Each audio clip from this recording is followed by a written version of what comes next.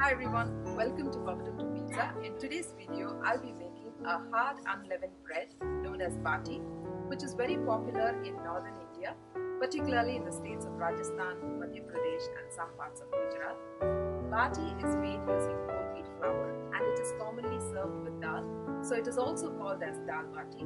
Another popular delicacy that is served with dal bati is the churma. So in today's video, I'll be making dal bati churma, all three recipes in one video. I'm very excited in sharing this recipe, so without further delay, let's get into the video. First, I'm going to make the dal, for which I'm going to use various types of dal in equal measures. 3 tablespoon of green gram, masoor dal or red lentils, chana dal and black urad dal. Rinse it thoroughly in running water and add it to a large bowl. Cover it with enough water and soak for a minimum of 30 minutes.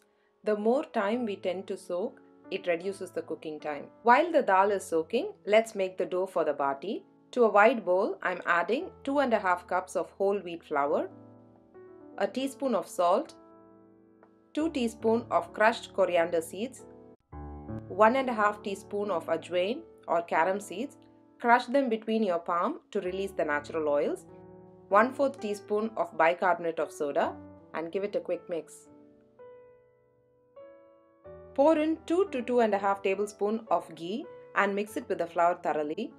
Take some flour in your hand and hold it tightly within your palm. The flour should hold the shape like shown.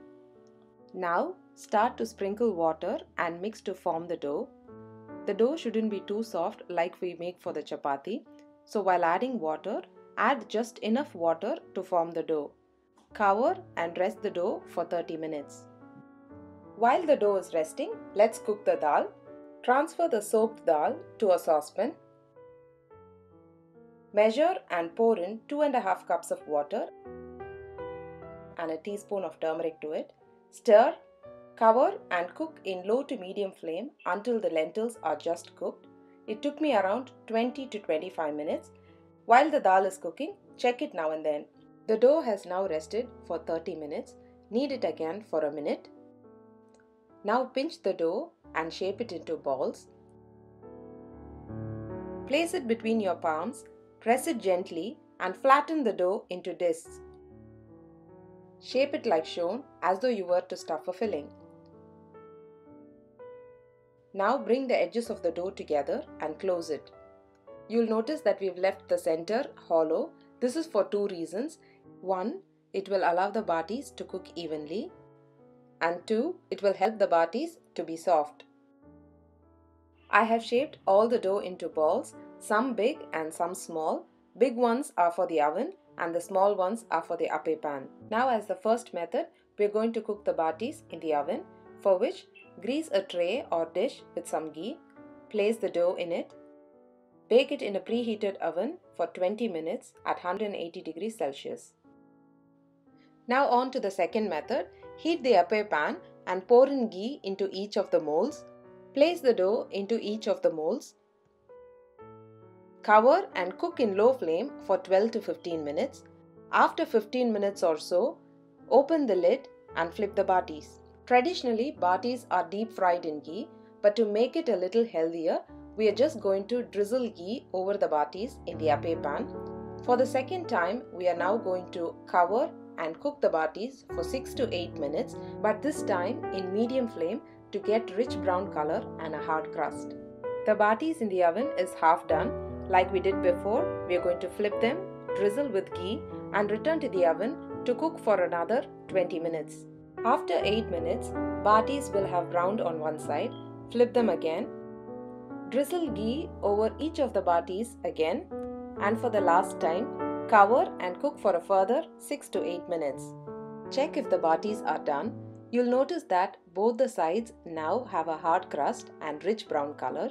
It took roughly around 25 to 30 minutes to cook the batis.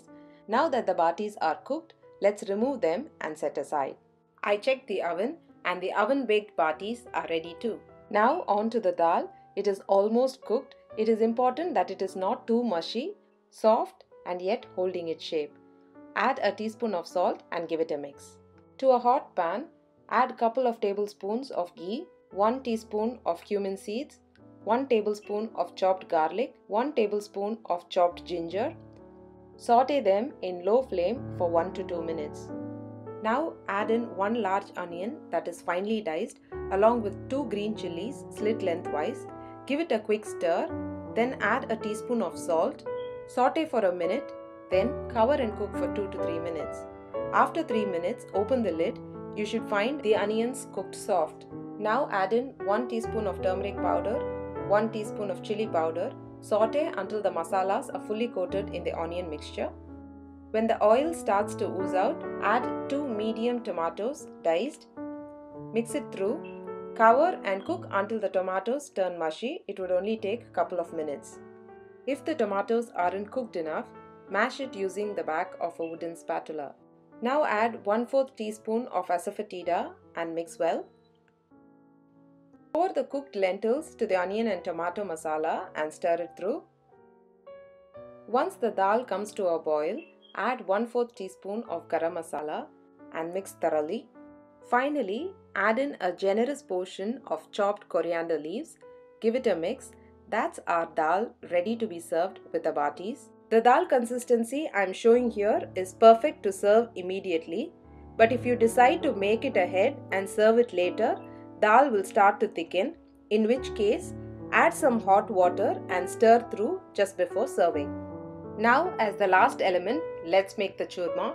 To a blender or food processor, add 4 to 5 cashews, 8 to 10 almonds, 2 teaspoon of sugar and 2 to 3 batis broken.